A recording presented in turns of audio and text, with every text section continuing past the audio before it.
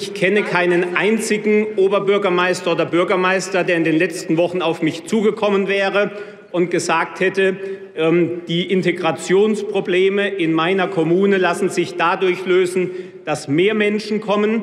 Ich bin aber von vielen Oberbürgermeistern und Bürgermeistern um Gespräche gebeten worden, die mir gesagt haben, trotz besten Willens Flüchtlinge in unsere Gesellschaft zu integrieren, sind wir an einem Punkt angekommen, an dem wir sagen müssen, unsere Kapazitäten sind endlich. Das ist die Realität in diesem Land.